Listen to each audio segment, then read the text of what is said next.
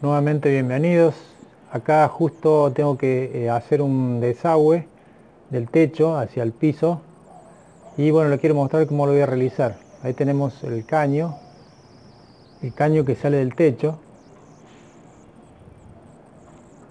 Ese. Y tenemos que unirlo con, o sea, tenemos que bajarlo desde ahí hasta el piso. Para que venga un desagüe que tengo acá en el piso. Bueno, para eso eh, tenemos que poner un codo, un codo 90 grados de estos plásticos. Y lo que tenemos que tener en cuenta es que siempre el caño tiene que ir enchufado por dentro.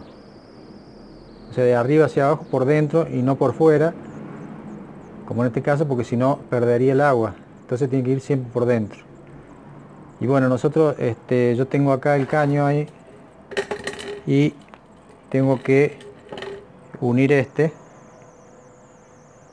este de acá con el otro que de la misma medida entonces lo voy a tener que calentar. Así que procedo a calentarlo. Bueno ahí con el soplete voy a ir calentando el caño.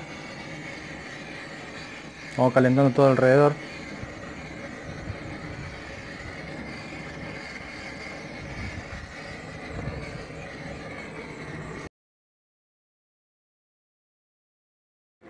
ahí se fue ablandando se fue ablandando y metí el otro caño ahí. No lo mostré porque no lo podía hacer porque tenía que tener la grabadora. Ahí está puesto.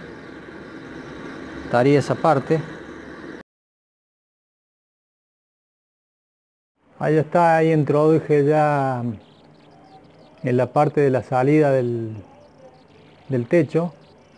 Ahí y como ven ustedes siempre sale el caño de arriba entrando dentro del otro para que no pierda. Y ahí vamos bajando hasta el piso donde en el piso tenemos otro codo que lo podemos orientar para donde querramos